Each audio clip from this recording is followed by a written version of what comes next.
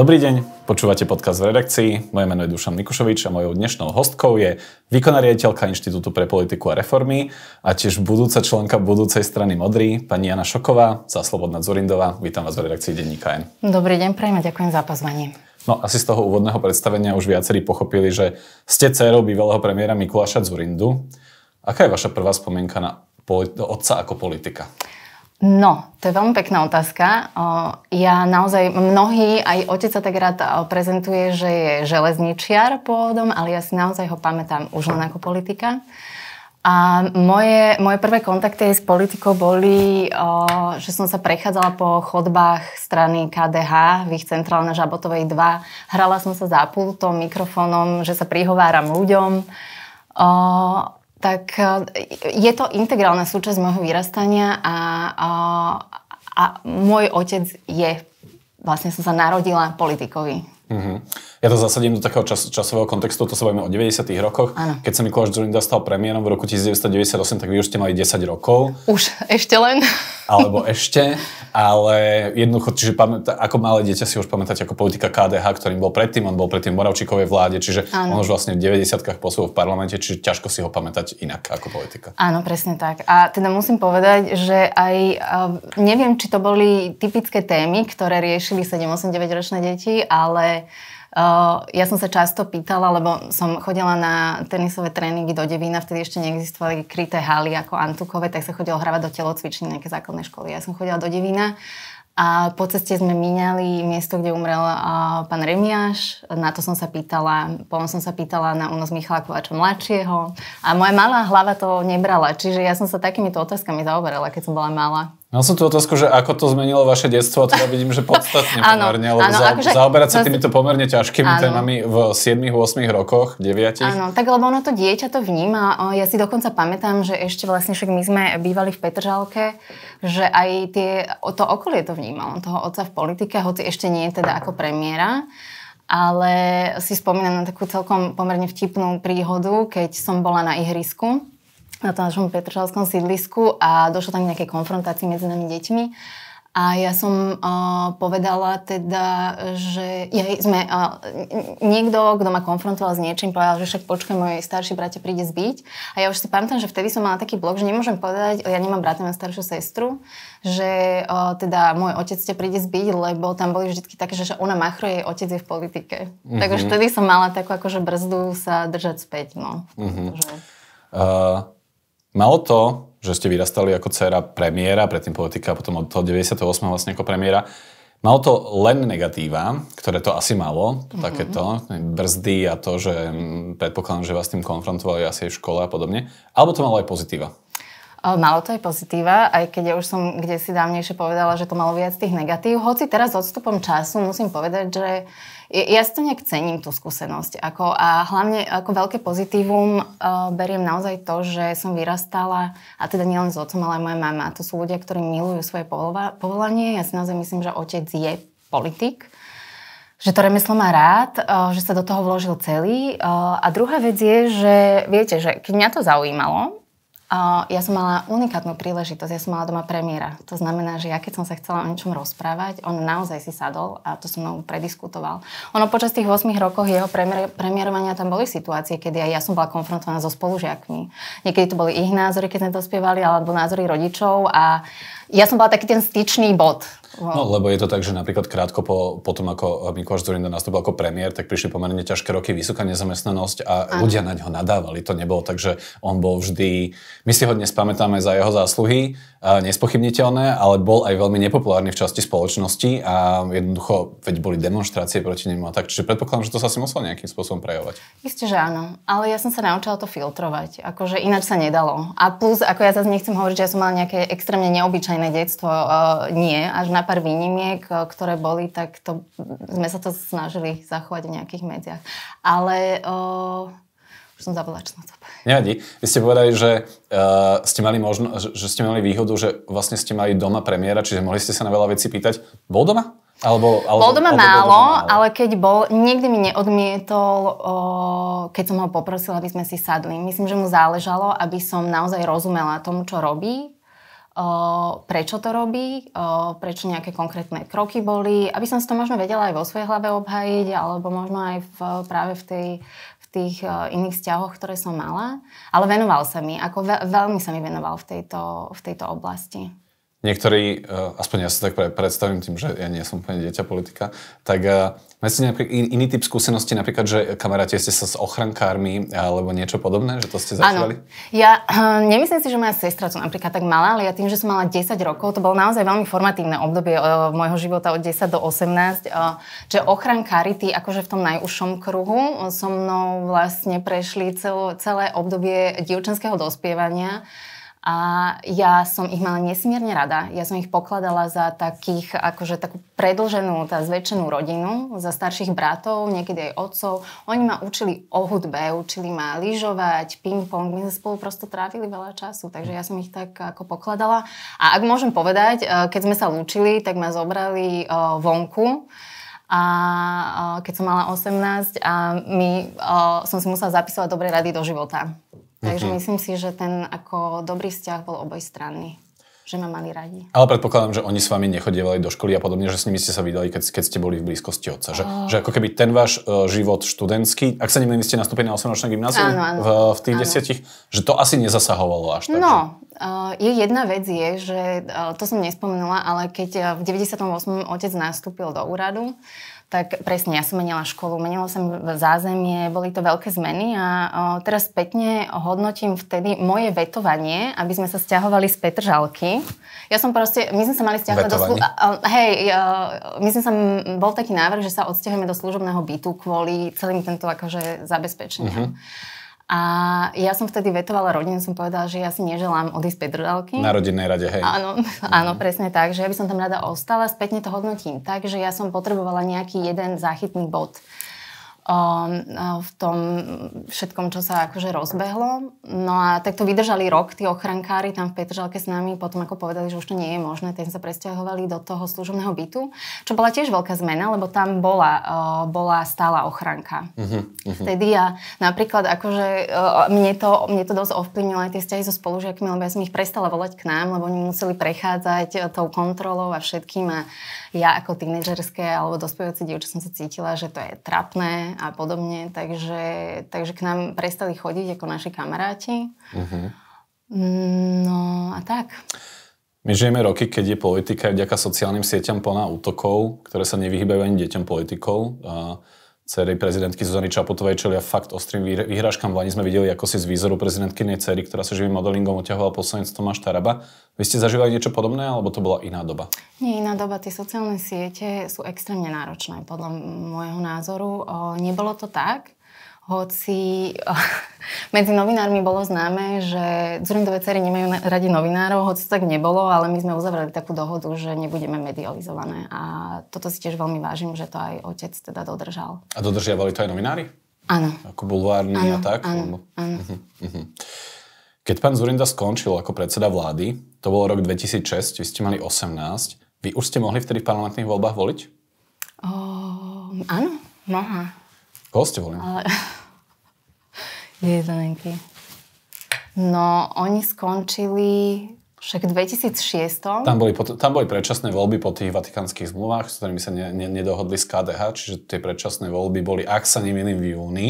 Skoro určite v, v júni 2006. Čiže... No to som mala, ja som februárová. Vy ste februárová, čiže to ste, to ste už teoreticky mohli voliť. Ako, je možné, že ste nevolili SDK? Nie, nie je to možné. Čiže volili možné. ste SDK. Áno. Mňa to zaujíma preto, lebo keď má človek 18, no aj niekedy aj, aj ďalej, tak jednoducho častokrát no nemá úplne rovnaké názory ako jeho, jeho otec alebo ako, ako jeho rodičia. Vy ste boli dcérou pravičiara, ktorý presadil rovnú daň. A teda ma zaujíma, že či tam nebola nejaká že mladická lavicová rebelia, že či ste zo slobodou zvierat nechodili oslobodzovať nie. Ne, neviem čo, zo, zoologické záhrady alebo to cirkusy. To asi, asi sklamem, ale vôbec nie. Ja som, ja som bola extrémne študijný typ. Ja som vlastne vďaka tomu, že sme vstúpili do EÚ, som v 2004, to bol maj, ja už som v auguste požiadala o štipendium, o pobyt v zahraničí. Som, tej som tam niečo nehovorila, ale som išla na pohovory, všetko vybavila a som odišla do Anglicka študovať. Ešte na strednej škole. Ešte teda. na strednej škole. Čo bolo ináč, o, ja som si teraz na to tak pospomínala, že ja som bola tak hrdá, že som zo Slovenska. Ja som tak chodila a rozprávala, že ja som z tej malej krajiny, čo sa teraz dostala do Európskej únie, akí sme my parťaci. Veľmi rada si na to spomínam. No. Takže o, ja som sa sústredila vtedy, predpokladám, dosť na to, aby som sa dostala na vysokú školu. Uh-huh. Pohádali ste sa niekedy s otcom o politike? Uh, ak mám úprimne odpovedať, uh, nepamätám si, ale doteraz vedieme debaty ohľadom zahraničnej politiky. Akože určite tam boli momenty, kedy som si ja formovala uh, práve v diskusii s ním, čo ma veľmi bavilo, nejaké akože základné princípy. Ja aj tým, čo som študovala potom v Prahe, um, boha, bohatú. Ja to možno poviem, bakalára ste mali sociálnu antropológiu Áno. v Bratislave a potom medzinárodné štúdia v Prahe a potom ste ešte študovali v Indonézii. Áno, to bolo všetko tak popletené. Medzi tým tá Indonézia okay. bola, bola medzi Bratislavou a Prahou a potom mm-hmm. aj v rámci Prahy, áno. No ale čiže máte ako keby aj medzinárodné vzťahy, ktorým ste sa venovali, čiže zahraničná politika. Áno. A tam, tam máte nejaké rozdielne názory? O, nie, nie, nie. Len sme tako formované tým, že to moje štúdium sa sústredilo na medzinárodné vzťahy, ale to je treba dodať, že to bolo v azijskom prostredí. Mm-hmm. S tým ale, že ten fokus tam bol na tú Pacifickú Áziu a môj špecificky teda na juhovýchodnú. Tak keď sme preberali moderné politické dejiny, tak tá globálna politika bola neskutočne zaujímavá. Tak tam sme ako sa rozprávali a tam som si ja formovala akože postupy USA, postupy tie vplyv. Ako tam, som, tam som pričuchla k tej globálnej politike a musím povedať, že ma to veľmi, veľmi zaujalo. Rozumiem. A taká moja, akože, moje dúfanie, že tu zistím, že ste sa pohádali s otcom o rovnej dani a plieskali ste dverami kvôli tomu, že zdaňovať sa na progresívne, také nič sa nikdy. To nie, nie, to vás klamem. Čo sformovalo vaše politické názory v tejto mladosti? Ako keby, že bolo toto štúdium, boli to ľudia okolo, alebo bol to aj ten vplyv otca? Alebo... Určite, akože to by som vôbec nepopierala. Ako, o, ja si myslím, že vzťah s mojim otcom a to jeho pôsobenie bolo veľmi formatívne, ale ako som povedala, ja som v 16 odišla do Anglicka, kde ten prístup na tých stredných školách bol diametrálne odlišný. Ja som mala 16 rokov, ja som tam prišla, ako mne sa všetci správali, že som dospela to bolo pár mesiacov, kedy som si musela uvedomiť, že s tou zodpovednosť teda musím nejako narábať. To, to štúdium tam prosto vyzeralo úplne ináč. Tak aj to, ako to dieťa, ja som nasávala ako šponky a všetko, aj Indonézia, veď aj tam, ako on, boli to všetky tieto skúsenosti, ktoré jednoznačne formovali môj politický názor. No a aký je dnes? Akože ja viem, že e, neradi to majú ľudia aj politici. Ste možno ako začínajúcou političkou de facto vlastne, že ste, keďže uh, teda je vás vidno na tlačovkách strany Modrý, ktorá ešte no. nevznikla. Aj keď, ako ste povedali, že nie ste členkou prípravného výboru, nie. ale tak to je taká akože skôr technikália. No, každopádne, ako by ste sa zaškotulkovali možno z pohľadu tých klasických ideových delení, ak ešte sú teda funkčné? Teraz myslíte, aké? Lavičiarka, pravičiarka, liberálka, konzervatívka. Ano, no, Všetci tu nakoniec povedia, že sú takí umiernení a stredoví. Áno, asi opäť vás sklamem dneska, ale áno, je to také umiernené, kresťansko-demokratické, no. Umiernená kresťansko-kresťanská demokratka, hej? Mne aj tá motivácia, asi sa k tomu dostaneme, že prečo som sa do tej politiky... To určite sa pustila je, že mne naozaj chýbala taká konštruktívna debata, uh, umiernená, uh, slušná. Uh... V slovenskej politike súčasnej, hej? Áno, no. Ako občianská som to tak nejak vnímala, áno. Uh-huh. Uh... Ale tak tie delenia, to vám teraz každý povie, že je to komplikované. Tu už včera som bola na debate, kde niekto o sebe hovoril prvú polku, že nie je konzervatívec, poviem, že vlastne sa je konzervatívec, tak No dobre, čiže kebyže si to testneme na ako keby, že 4-5 nejakých takých prvoplánových témach a priznám, že sú prvoplánové, mm-hmm. napríklad, že mm, ten návrat vášho otca do politiky, ak to je návratom do politiky, lebo mal som ho tu a rozporoval to, že či to je návrat, tak neviem, že čo to, ako to presne, ale ja by som teda nadalej nazýval návratom do politiky, aj keď teda možno nebude kandidovať, alebo uvidíme. Uh, tak je trošku ako keby konfrontovaný s tým, že tá slovenská politika v súčasnosti má trochu iné témy, a netvrdím, že to je šťastné, ako mala v minulosti. Veľa, veľkú váhu tu majú napríklad kultúrno-etické témy, čo je dané mm. tým, že mm, politici v parlamente ich stále predkladajú. Niektoré veci nemáme možno, že vyriešené, mohli sme mať a možno by sme sa o tom nedebatovali. Čiže kebyže idem takto prvoplánovo, napríklad registrované partnerstvo a vy ste, že áno, nie. Nemám s tým problém. Nemáte s tým problém. Ale nie je to pre vás agenda, ktorá je ako keby prvorada? No, uh, ja som sa zaviazala k tomu memorandu, ktoré aj strana Modrý, teda, uh, teda nie memorandu, ale k tomu princípu tých desiatich bodov, tzv. desatoro, kde to máme podchytené tak, že uh, uh, a ja sa cítim v takej formulácii veľmi slobodne, že to nie je téma, ktorú budeme my nejak pretláčať, ale nebudeme nikomu brániť, pokiaľ tú tému bude chcieť otvoriť. A to veľmi predbiehame, ale v parlamente, pokiaľ by prišlo k hlasovaniu, tak každý sa má cítiť slobodne, lebo je to otázka svedomia. A vy by ste, sa... vy by ste slobodne hlasovali za? Ja by som slobodne hlasovala. Obmedzenie interrupcií, slobodne by, sa, by ste hlasovali proti? Skôr za status quo? Uh, ja by som... Ako, ako ste o, obmedzenie interrupcií. Teraz máme ako keby rôzne návrhy, ktoré nejdú až tak ďaleko, ale napríklad, teraz konkrétny aktuálny návrh, ktorý má Anna Záborská v parlamente, predlžuje lehotu uh, pre pre, pre tehotnú matku, kedy si to má rozmyslieť, má dostať nejaké poučenie, dotazník nie. a podobne. Sú tam ako keby rôzne komplikácie. Čiže nie. OK. Obmedzenie nedelného predaja, to reálne môže prejsť na, na aktuálnej schodzi v parlamente? Uh, ja by som ho neobmedzovala. Uh-huh. A skúsim úplne od boku, čo debata o spalovacích motoroch, že to ide mimo vás, alebo, alebo to ste, to ste Nie, riešili? je to zaujímavá debata, ja nie som odborník, takže tu by som sa možno úplne nevyjadrovala, ale mám, mám také svoje vodítko. Mm-hmm. Ja tým chcem povedať, lebo toto uznávam, že tie otázky boli prvoplánové. Chcem ti povedať, že ako keby tá súčasná politika, a nie len tým, tým nastavovaním agendy z pohľadu slovenských poslancov, ale má aj iné prvky, ako mala pred uh, 10-15 rokmi, keď bol Mikuláš Zurinda v politike. Napríklad klimatická zmena jednoducho nebola pred mm-hmm. 10 rokmi uh, nejakým spôsobom, že až takou výzvou, ako je dnes. Mňa zaujíma, že či v tých debatách s otcom vy osobne do toho vy prinášate ako keby aj možno, že do programu strany Modrý to, že budete musieť sa vysporiadať aj s tými témy, témami, ktoré prišli potom a že už to nebude stačiť, aby to bolo len nejaké oprášené SDK. Tomu rozumiem, ale rovnako si myslím, že tá hodnota ako zakotvenia na západ je rovnako si myslím aktuálna teraz, je veľmi dôležitá. Nebola by som, ja nie som totiž zástanca toho, aby tá politika sa zúžila len na tie kultúrno-etické otázky. Ja si, a to bolo tiež, um, ako to je tá myšlienka toho, že tu sa úplne stratili dôležité témy v tom verejnom priestore, ktoré sú pre krajinu dôležité a podľa mňa aj pre veľkú časť ľudí. Takže to zúžovanie na takú, ako ja rozumiem, že pre niekoho je to bytostne, výsostne jediná dôležitá vec aj na základe, na základe ktorej bude voliť, ja si myslím, že uh, je, sú tam iné témy a tam prichádza si myslím, že tá skúsenosť a to nadviazanie na ten odkaz tých dvoch podľa môjho názoru stále najúspešnejších vlád, ktoré Slovenská republika mala. A, uh, a to, to, je, som... to je prvá a druhá vláda Mikuláša Zurindu, alebo je to vláda Ivety Radičovej niekde zakomponovaná? Je tam vláda, sú to tieto dve vlády uh-huh. Mikuláša Zurindu. Čo sú teda tie témy podľa vás, ktorí z vášho osobného pohľadu uh, by mali byť určujúce? A, tak myslím si, že to bolo povedané, asi sa budem opakovať, ale sú to... Teraz máte priestor pre naši My sme to opakovali, sú to, je to zdravotníctvo, školstvo a samozrejme ekonomika. Na čože ja som veľmi šťastná, že s nami Ivan Mikloš spolupracuje. Myslím mm-hmm. si, že je to že je to dobré.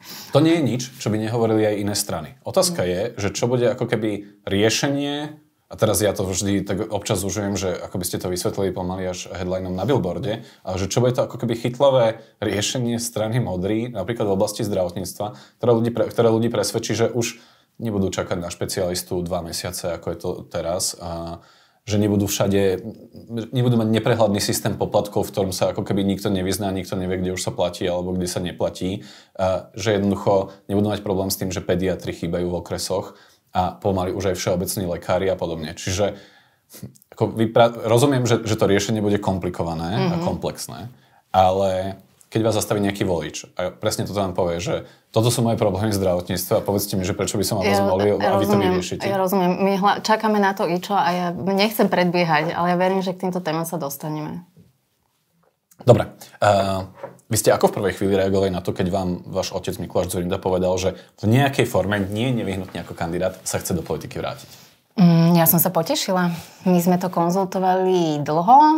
Ja som, lebo viem, že ho to trápilo. A trápi to ľudí, ktorí sú tí homopolitikus, prosto tou politikou žijú.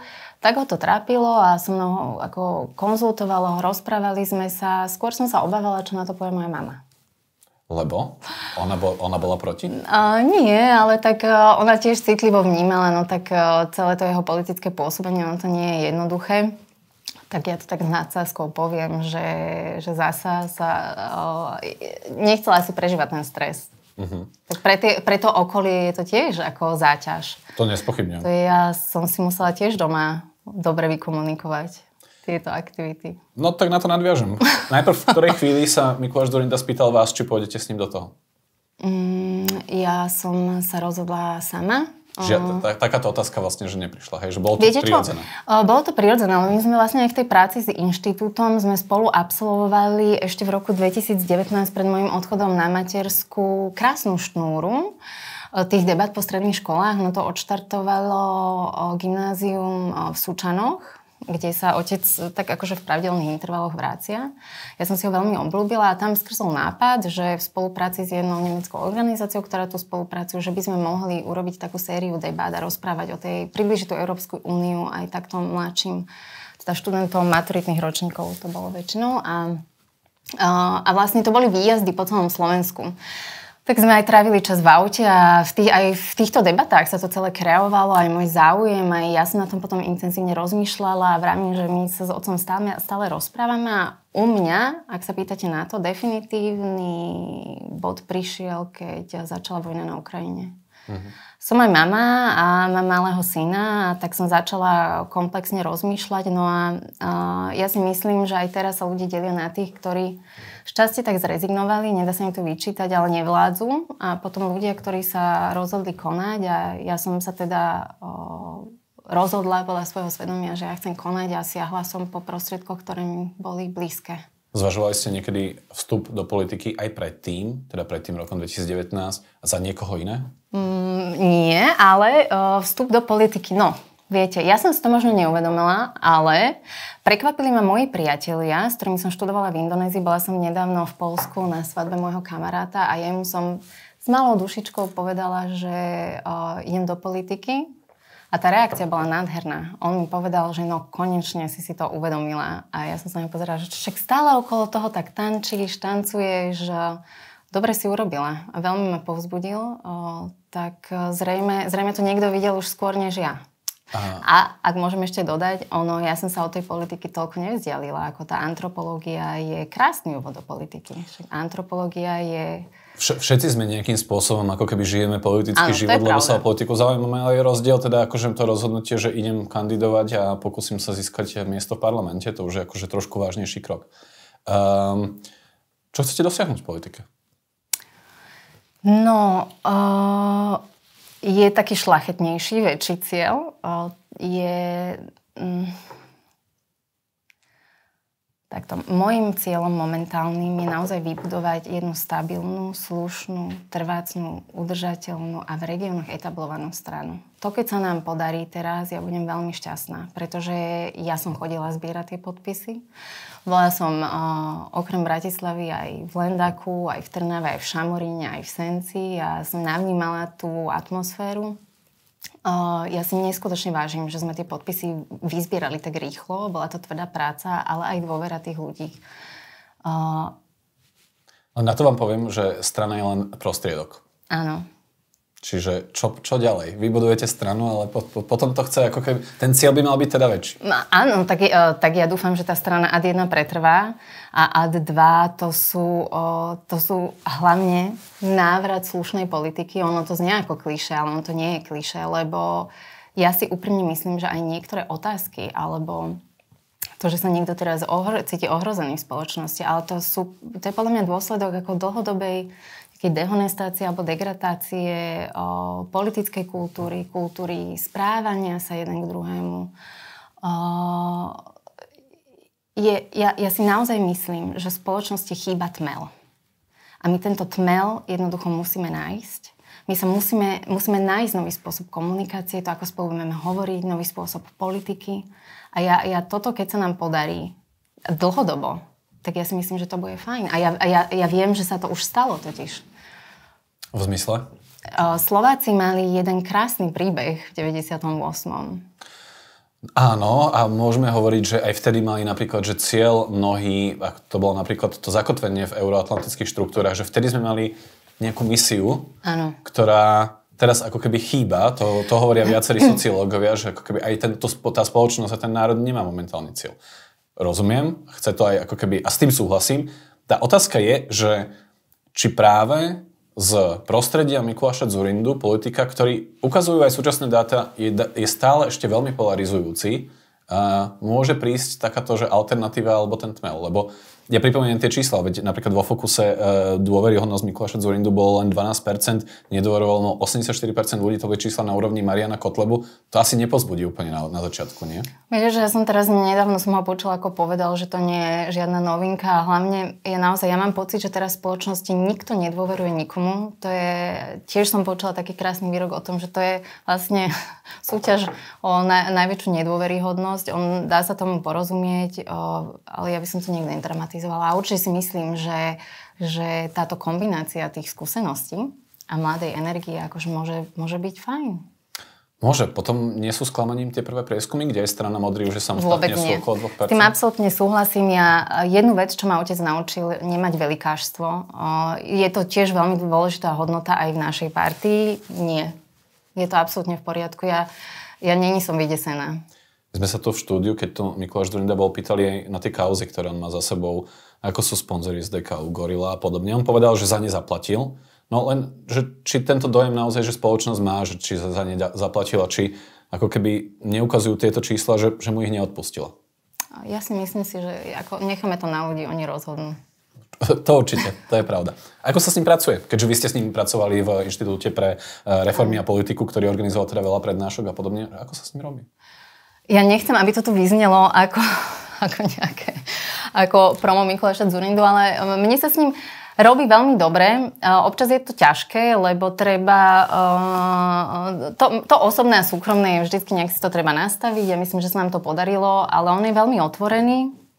Toto je ďalšia vec, že on má víziu, vždycky má víziu. On je veľmi, a myslím si, že aj tie roky pôsobenia v Bruseli v tom think tanku, čo je iný typ práce, ono tam si človek môže dovoliť byť odvážnejší v myslení, uh, mu veľmi ako uh, nie pomohli, ale sa mohol prejaviť to, jak on uh, je vizionár v istom zmysle, že on prináša tie nové, nové témy alebo nové riešenia, že on sa na tie veci ako díva podľa mňa odvážne. A čiže uh, takto sa s ním spolupracuje veľmi dobre, ako je otvorený nápadom, má rád brainstorming, uh, nepokladá otázky alebo komentáre nejak za hlúpe, uh, takže je to také tvorivé prostredie. Neviem, či by úplne všetci novinári súhlasili, ale nechám to v takej- takejto poznámke. Chcel som sa spýtať, že aká je to z, vaše, z vášho pohľadu rola byť v jednej strane, teda budúcej strane s otcom? Lebo ja rozumiem, že tá vaša partia alebo strana modrý je menšie zoskupenie, čo tomu dáva ako keby menšiu váhu. Len v okamihu, keby to bolo napríklad, že by sme sa bavili o 15% SDKU, a vy by ste vstupovali ako dcera Mikuláša Zurindu do veľkej strany s širokým členstvom a zabehnutej, tak by to bolo vnímané ako rodinkárstvo, nie? Trochu. Nebol, nebol by tam tento rozmer, alebo nezvažovali ste to, že či to, je, Vôbec či to nie. môže byť? Vôbec nie. Ako, nemyslím si, že som ani prvá v histórii, ani posledná, ktorej ako dieťa politika teda vstupuje To určite do nie, to už, politiky. už, už Masarykovci dokonca- boli, boli dynastia, teda v Amerike Kennedyovci a podobne. Čiže... No a takáto ako... O, niekto mi dokonca povedal, jak som vám spomínala, že som bola v sobotu na Slnku sieti, že ideálne by bolo, keby ešte teda môj syn, ale išiel do politiky. Uvidíme, no možno keď budete úspešní uh, vo vašej strane, uh, pokojne. Vrátim sa možno do januára k tej prvej tlačovej konferencii ešte Modrej koalície, kde ešte Áno. bol Miroslav Kolár. Túto epizódu máte tiež za sebou, už to, nechcem to nejak rozoberať. Čo vtedy viacerých zaujalo, okrem iného, bolo, že tam bolo málo žien. Uh, ja som si to dokonca spočítal a ten pomer bol 6 k 26 v prospech mužov. Moja otázka je, že či vám to neprišlo málo a ako sa pozeráte na Samozrejme, tento že rozmer? prišlo. Samozrejme prišlo a mám aj kolegyňu Sášku Bocovú, s ktorou to intenzívne riešime v zmysle uh, ako aj programu. Aj musím povedať, že jej sa podarilo aj dostanou uh, zakomponovať vetu, že sa strana bude usilovať o rovnomernej teda zastúpenie žien a mužov, čo je skvelé. Bude sa usilovať, je tá formulácia, Áno, hej? áno. Lebo napríklad progresívne Slovensko si myslím, že dalo dostanú kvótu, Kvótu, a v predsedníctve majú povinne 40% žien. Na kandidátke sa dokonca snažili byť minimálne v prvých dvoch desiatkách v tých minulých voľbách vyrovnaní. Vy by ste prijali niečo ako kvóty? My sme sa o tom bavili a takto nám to vyhovuje, ako je to napísané. Nie je to jednoduché, asi sám viete, momentálne motivovať mladých ľudí, aby šli do politiky a naviac ešte mladé ženy. Ale som nesmierne ráda na, hrdá na tie ženy, ktoré tam máme. OK. Najznámejšou reprezentantkou žien v slovenskej politike je prezidentka Zuzana Čaputová. Ak by sa znovu rozhodla kandidovať, volili by ste ju? Áno. Ale neviem, kto je protikandidát. To je práve tá otázka, lebo váš otec tu bol a dostal podobnú otázku a on povedal, že potreboval by som vidieť protikandidátov, nemyslím si, že by som mal dávať biankošek, trošku cítiť, že pani prezidentke chýba politická skúsenosť.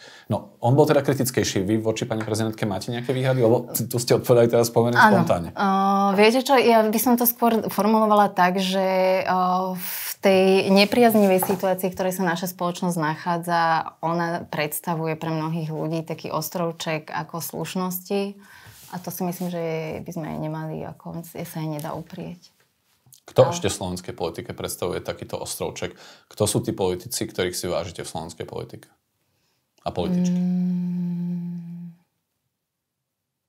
Viete čo, ob, oplatím to mintou. O, s pani Marcukovou máme pekný, ako párkrát sme sa len stretli, ale myslím si, že, že si robí takú dobrú mravenčiu prácu. Mhm. Skúsim to ešte inak. Koho by ste volili v predčasných parlamentných voľbách, ak by modri nekandidovali? Fú, môžem tuto povedať bez komentára. Môžete samozrejme, si vyhodnotia diváci, že či ste boli odvážnejšou a povedali niečo, alebo nie.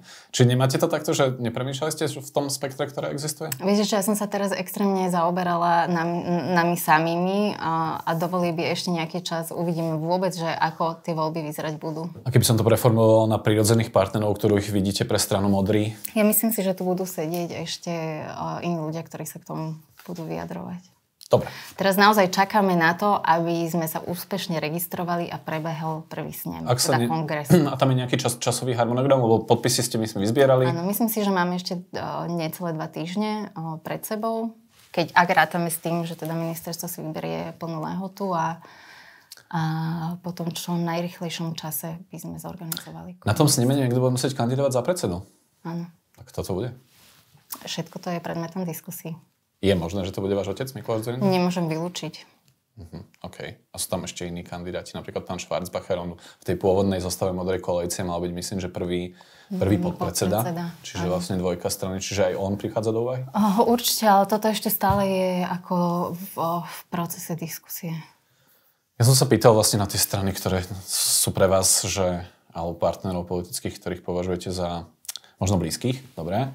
Um, inak tá otázka, kto dnes predstavuje najväčšie nebezpečenstvo pre Slovensko?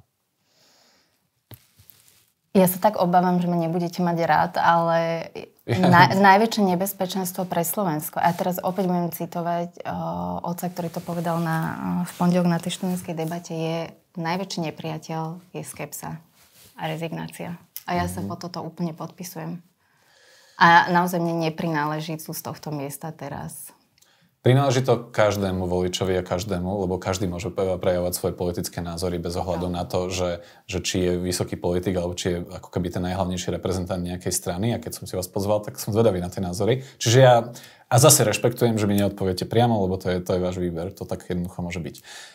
Ako to osobne vy odhadujete, že v akej zostave pôjde strana Modrý do volieb? Samostatne? Alebo je ešte možné, že nejaká spolupráca bude? Ja by som vôbec nevylučovala spoluprácu. Nie, nie je to, že čo sa stalo s Miroslavom Kolárom, akože pre a teraz, lebo vždy to ako keby komunikoval Mikuláš Zurinda, ale, ale nemali sme tu vás ostatných z tej, z, tej, z tej strany, že ako ste to brali a že či to nie je skúsenosť, ktorá vás mm, natoľko ovplyvnila, že už jednoducho ste rozhodnutí, že radšej samostatne. Vôbec nie. Veď uh, my sme sa rozhodli ísť do politiky. Bola to náročná skúška, ale myslím si, že môžem povedať za každého jedného z nás, že aj sme za ňu vďační. Bol, bol to nástup z ostra, ale taký je život. Akú rolu či miesto budete mať na kandidátke vy? To, to je naozaj, že teraz veľmi, veľmi predbiehame. OK. Ale vážim si, že ste to skúsili. Uh, No dobre, tak posledná. A máte aspoň nejaký politický vzor s výnimkou otca? O, fíha, o, viete čo, že ja som na toto otázku rozmýšľala, lebo ja som nikdy nebola dieťa, čo si lepilo plagáty na stenu, ja som takto veľmi nepremýšľala. Ste ma zaskočili. Mm-hmm. Tak možno na budúce, keď sa stretneme. Možno už keď budete poslankyňou parlamentu. Možno. Uvidíme. Uh, hostkou dnešného vydania v redakcii bola zakladateľka strany Modrý alebo budúca členka budúcej strany Modrý a riaditeľka Inštitútu pre reformy a politiku pani Jana Šoková.